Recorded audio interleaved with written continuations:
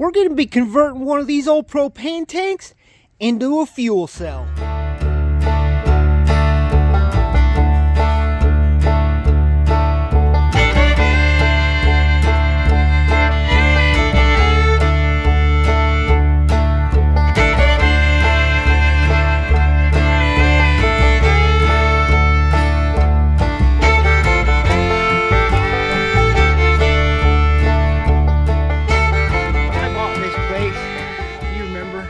That was back here. I've still got a few drums. I got metal roofing, a little bit of concrete, and a little bit of garbage to get rid of. I've also still got a couple propane tanks. So we're gonna make a fuel tank out of one of these.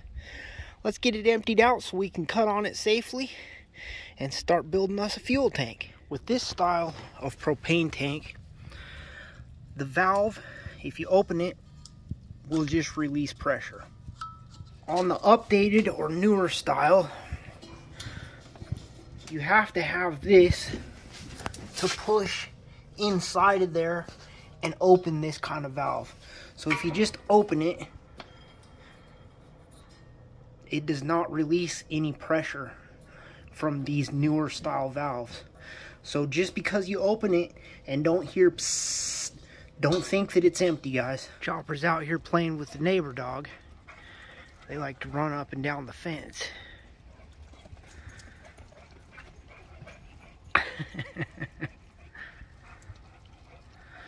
but back to our project with the tanks.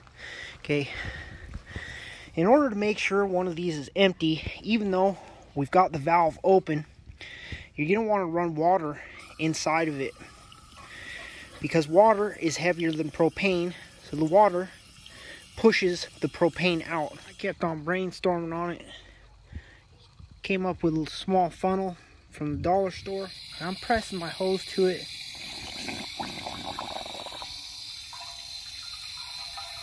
And that's forcing the water in there. You can hear it.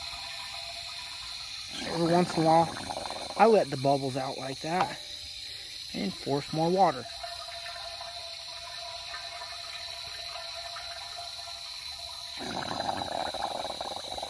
Two thousand years later. Oh, I've literally had these in the backyard upside down like this for months now. And uh, propane, I guess, is heavier than air. So if you stick it upside down, the propane should go out the bottom and uh, clear out the tank for you. Doesn't mean that I'm going to consider it safe, even though I filled it with water and then I left it upside down forever. I'm still going to take my precautions. And by being careful, I mean setting up a camera, so at least if I go boom... Something really cool?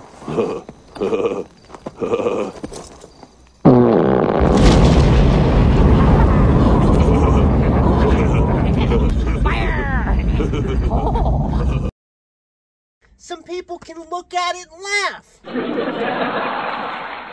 I got this valve shut just in case and I'm just gonna go ahead and cut these welds and get this guard out of the way so that I can get that valve removed.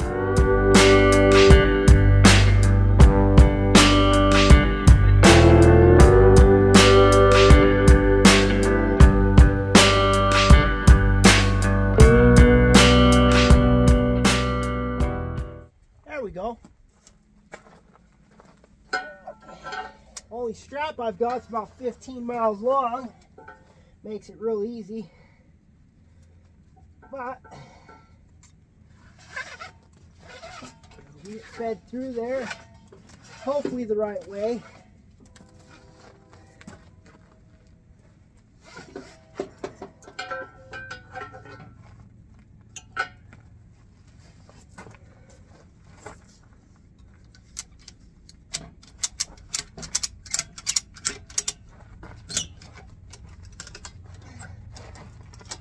Okay.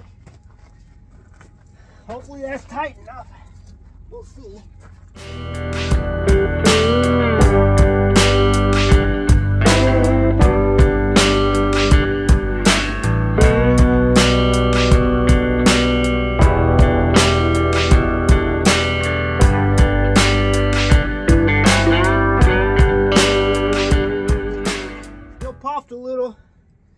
still smell a little bit of propane. So we're gonna go ahead and fill it with water again. I can't stress to you enough how stupid drilling into or welding on a propane tank is. So if you have any kind of brains, don't follow my instructions. I'm far from intelligent for doing this. My wife's reminded me many times.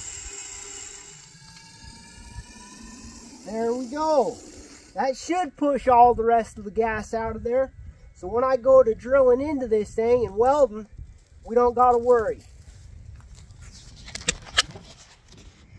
But like I said, I'm just some dumbass, so don't follow my direction. Pushed out of that tank. So we'll drain the water out and get to work. We've cleaned it out. We've rinsed it with water. We've left it upside down.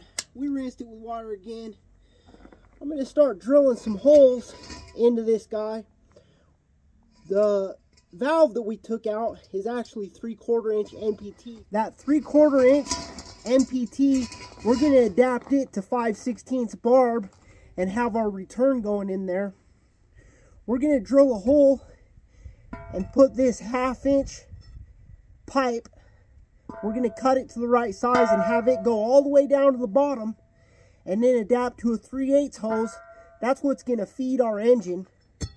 And then for the filler neck I got this inch and a quarter pipe. And so we're going to cut a hole and weld that up as well. First we're going to drill a hole with a normal bit and then we'll step bit it out to about three quarter for this half inch pipe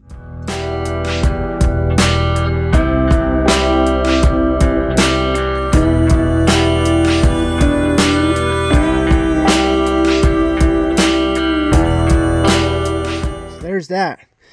So we got to cut this to length so that just a little bit of thread comes out the top.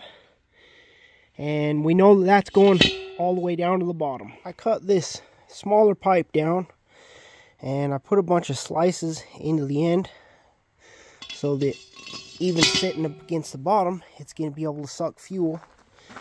Now this other pipe, I cut it off, cut it off a little bit uneven where I can get a piece to sit down on that pretty well. And now I'm going to step bit this out to an inch and a quarter, which is what this inside diameter is. And then when I set that on there, I can weld around it, and that'll be my filler neck.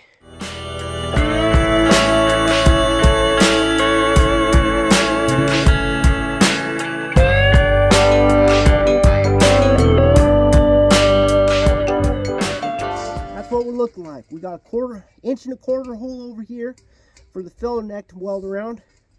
We got the suction tube, and then we're going to do a return and a vent right here. All right, guys, so I read online, good way to get rid of this black uh, oxidization, oxidization, the coating on these black iron pipes is some PVC cleaner, ABS pipe cleaner. So got me some rags. And we're gonna give this a shot. I might end up looking like a dummy and just making a mess or it might work. Let's find out. Oh, if I can open it. There we go. I win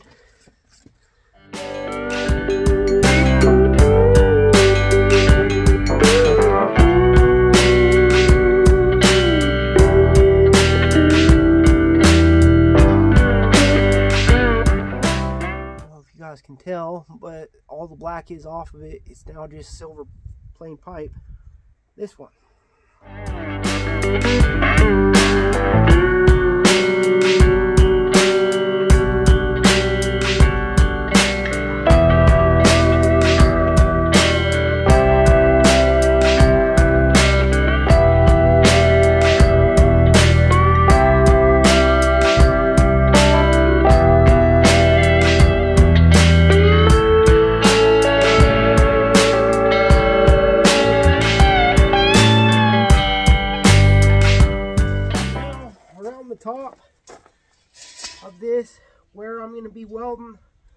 can use a flapper disc and get it cleaned up a little.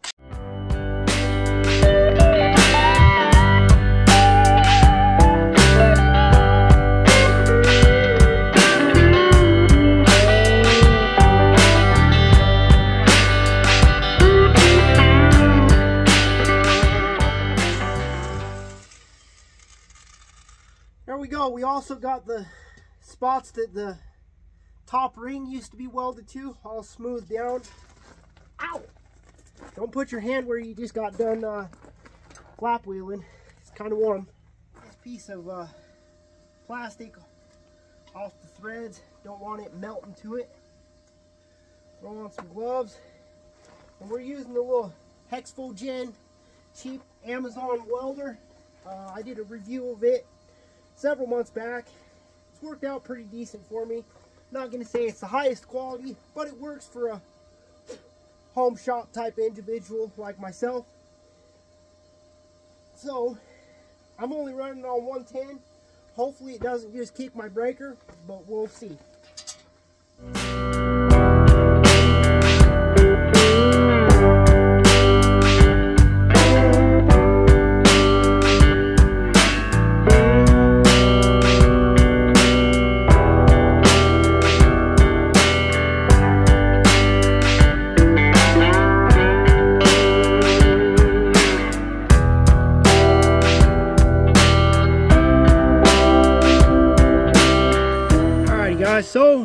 There's my weld.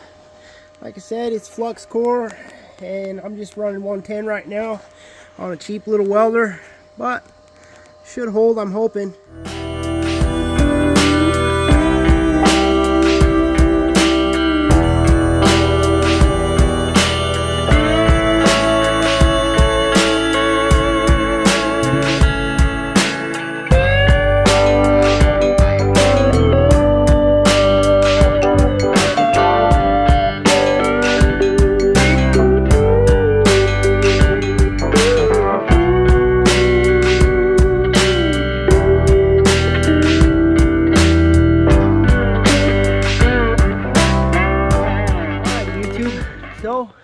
welds.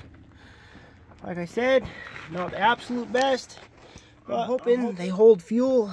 No leaky leakies. We'll see. Okay, so I added the pipe to the middle just to get the fill height higher. And I'm gonna go ahead and fill this with water and see if any of my welds are seeping water.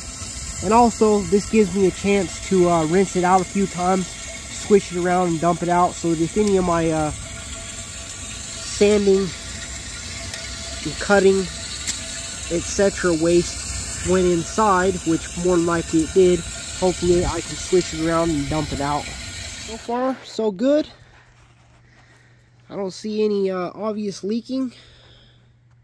And to be honest this fuel tank is never really going to be filled that high it's going to be down here so it's just going to get little splashes up here around my welds. And remember this is a tube all the way down so my weld doesn't affect its suction.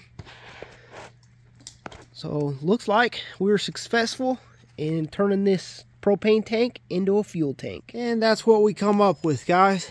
So we got the filler neck we've got the return line which is 5 16ths on one of these 7.3 diesels. This is just going to be a vent hose. And This guy is to supply the engine. That's a 3 8 barb fitting. If you're not already, go ahead and hit that subscribe button for me. Follow along with this 7.3 IDI diesel race truck build we're putting together. Hit that thumbs up on the video. Much appreciated by this small YouTuber trying to grow, trying to beat those evil algorithms. Next week video is going to be remounting this flatbed here. Week after that, we're going to be setting up this here roll bar on the back. So I'll see you next Sunday. Till then, believe in what God gave you, take on some projects, build, fix, create. Keep building shit, guys.